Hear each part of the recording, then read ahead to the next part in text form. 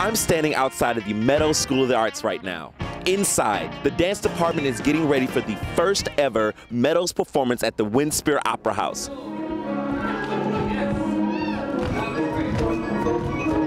I wanted to use dancers from every single class, first years through seniors, and some I've worked with before, some I haven't ever worked with before. I've had them all in class, of course. Uh, the first years I only had one semester, first semester. Um, so it's just an oppor- opportunity for me to get to know them and them get to know me.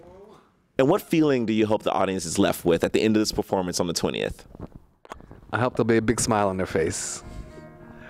Well, there's going to be a big smile on my face, I know that.